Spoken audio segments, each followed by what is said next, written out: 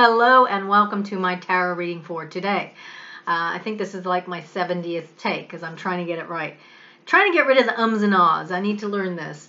Um, so anyway, this is a, a, reading for the week ahead. Um, and take what resonates, and if it doesn't resonate, let it go. So uh, the three cards that came up. We'll start with the first one. We've got Four Pentacles. Now, um, what I thought I would do this time that made it a little easier for me is just think of uh, like tag words for each one. So when I look at the Four Pentacles, what I what I feel is security. Four Pentacles is about the material world, material possessions, and the Four of um, Pentacles can ask us either are we squirreling away too much possessions, and that includes your money, it includes your stuff, or are we not squirreling away enough? So it's it's important to get a balance of it. So we like to have a little bit of savings for that rainy day. Um, but if we've got too much stuff, not only does it start feeling everything closes in on us because we feel it's like a hoarding situation, but also anything in the material world is designed to have a use. So shoes have a use, coats have a use, whatever. But if you enjoy collecting shoes and you have 100 pairs of shoes, but they're not being used for their purpose, then the energy is stagnant. And actually, the energy around that material item can kind of seep into our own psyche. So the idea with our material possessions is meant to be used. So we have a little bit of savings in the bank for that rainy day, that's fine. But if we just keep saving and saving and saving and never doing anything with it, then that energy will be very flat. Um, it's no good in working a job and knowing that you can save a hundred pound a month, but never ever dipping into that hundred pound a month for anything. So the important thing is getting a balance. So that's what I would say is have a look at your security. Is it in balance? Do you have enough? Do you need a bit more? Um, so anyway, and it's interesting because this is it's kind of a it's it's a good card because it, you can see. I mean, he's got this big box here. I know the the camera's rubbish, but it's we we're to believe it's full of possessions, gold, money.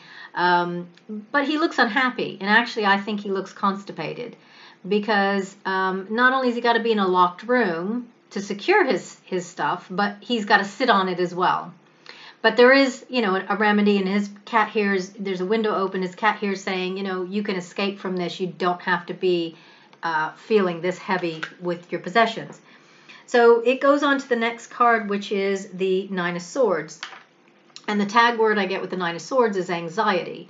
So um, it may be that around your possessions there is a slight anxiety, i.e., number one, you don't have enough of maybe money in the bank, or number two, maybe you have too much money in the bank. I know that sounds silly. How you know how much is too much? Meaning you're not doing anything with it. So money is meant to be used, possessions are meant to be used. So this card to, card to me is it uh, the tag word I have is anxiety. And if you look at the lady, she's got all these books here like she's studying. So maybe she's got her material possessions, whatever it is. Maybe it's I don't know, shoes, clothes, money, whatever it is that she's got, and she's researching I don't know what to do. I mean, it could be that she's got a nice little uh, bit in the bank and she wants to go on holiday. So it's just loads of researching. And at some point, you've got to break out of that cycle and just, um, you just have to, well, basically look out the window. You see that there's a, you know, a new day dawning. She's just getting stuck in the research, in the detail. And swords is about the intellect. So she's thinking too much about things rather than just doing something. Um, and it actually is a positive card because the swords, are pointing upwards, which means, which means the energy is going to go upwards. So if only she looked up the window, she might be able to breathe a, a breath of, of relief and think, you know what, a new day's dawning. It's going to be fine. Everything will get better. Um, so in, in regards to maybe not having enough resources, so if this is about having not having enough resources, it's saying there is a solution. There is a solution. It may take a little bit of research, but at some point you have to say, do you know what? I've researched enough. I've thought about it enough. It's going round and round and round. Now's the time for action. And March, this March apparently is going to be quite a like energetic month. And what I've heard from several people who do astrology and that is that um, it's a good month for starting creative processes. So that actually ties in perfectly with these two cards. Is there something so you know, something in the creative world is a possession if you build something, make something, and it's your time is done for researching that thing you want to do and time to get going with it.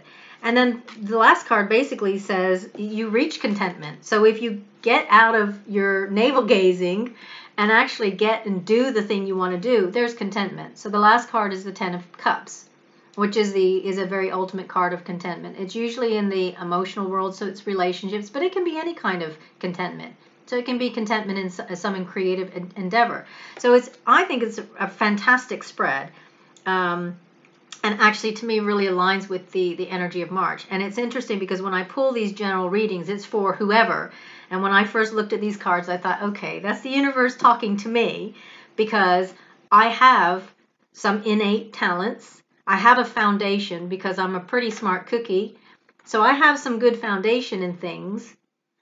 But I am spending, I will admit, way too much time researching. Do I want to do this? Do I want to make that? Do I want to go here? Do I want to go there? And if I just got off my butt and did something, do you know what? I'm going to reach contentment and I'm going to be able to go, ah, this feels good. I'm actually happy. I'm doing what I want to do and I'm enjoying life. So that's my reading for today, for the week ahead. And I hope something resonated with you. And please do put in the comments below what you liked, what you didn't like. And if there's any specific kind of readings that you want, please let me know because I'm happy to share. I need the practice, so this is this is a great medium for me able to practice my readings. And thank you for listening. Have a wonderful day wherever you are on planet Earth and namaste.